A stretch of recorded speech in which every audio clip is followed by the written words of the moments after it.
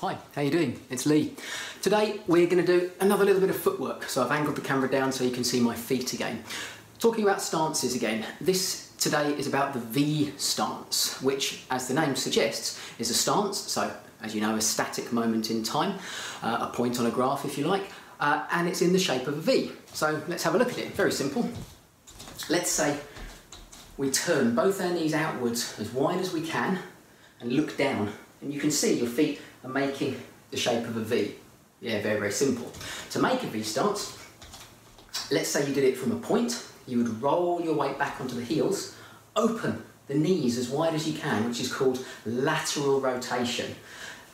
Roll your hips up so that they're tilting backwards and clench your bum as tight as you can to feel it nice and strong in the gluteus maximus. So both knees are rotated maximally outwards, lateral rotation. Your pelvis is tilted up and your bum is nice and strong. And that's a springy, relaxed V stance.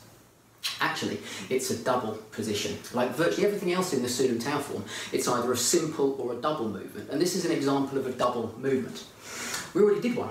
The point stance is actually a double point. There's two feet on the ground. That would be a single point, that would be another single point, and together they make a double point, but we just call it a point stance. The V stance is another one of those. When we open it outwards, we actually have one foot maximally rotated outwards, and this foot can be doing something, and this leg maximally rotated outwards, and then this leg can be doing something. And that's the key, really. The rotation of the knees and the lifting of the hips allow you to do three things. One, transfer weight easily. It's simple to transfer weight from one side to the other when your pelvis is rotated back. If you do it the other way around and you try to transfer weight, you'll always have to rebalance yourself. It's a bit tricky, but if you lift your hips up, it's actually very simple to transfer your weight because the pelvis is now directly underneath and holding you. Your body's not falling forwards. If you can transfer your weight, you can lift the leg and if you can lift the leg, you can kick. And that is the important thing. When you step into a V stance, or rather through a V stance, you're going to step into it, the knee opens wide, and then the other leg can come up and kick really easily. It can kick low, it can kick middle, or if you really roll your hips up, it can kick nice and high, all because the hips are open and able to allow you to kick almost any kick in the frontal sector of the body comes from the lifting of the hips. So as you step into it, your hips raise, your feet stay flat on the floor for this one because it's providing a base to kick, and then bam, you can drive right up and do a nice strike.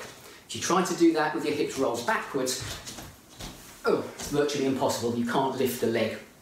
So there you go, V stance, very simple, one of the easier ones. In the Siu Nim Tao, we start in balance, we do a double Sao Chong, we do a double point stance, we roll the weight back onto the heels and open and roll the pelvis up. And there is your springy, relaxed V stance. Good stuff. Hope that makes a little bit more sense. That was a nice quick and easy one. Uh, in the next one, I'll start looking at the other bits in the Siu Nim Tao form and hopefully start linking it together in a sequence. Enjoy, take care of each other, bye.